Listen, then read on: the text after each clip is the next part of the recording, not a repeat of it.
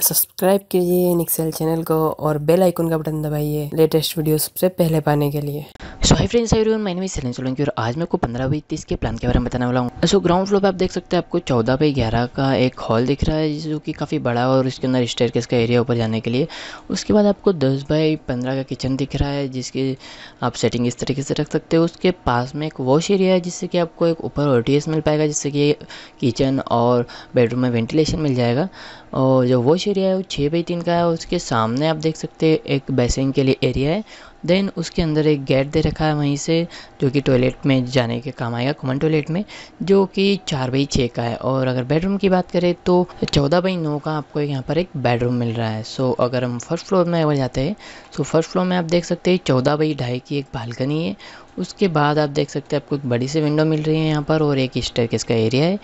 और जो हॉल मिल रहा है आपको वो नौ बाई ग्यारह का है। देन जो किचन है वो दस बाई पाँच और वॉश एरिया यहाँ पर ऊपर छोटा कर दिया गया है क्योंकि यहाँ पर आपको एक बालकनी टाइप या पूरी विंडो पैक भी कर सकते हैं। सो तीन बाई तीन का आपको वॉश एरिया मिल रहा है और ओ मिल रहा है तीन बाई तीन का। आप यहाँ पर देख सकते हैं चार बाई छः का आपको टॉयलेट मिल रहा है। यहाँ पर बेसिंग हो जाएगा और सबसे लास्ट में आपको ग्यारह बाई नौ का बेडरूम ड्रेसिंग एरिया यहाँ पर बना सकते हैं आप, और एक यहाँ पे अटैच टॉयलेट है, वो तीन बाई छः का है। सो ओवरऑल प्लान काफ़ी अच्छा है। Thank you for watching guys don't forget to subscribe my channel आप मेरे चैनल में नए आए तो मेरे चैनल को सब्सक्राइब कर दीजिए। इस वीडियो को लाइक कर दीजिए और अपने दोस्तों में शेयर कर दीजिए।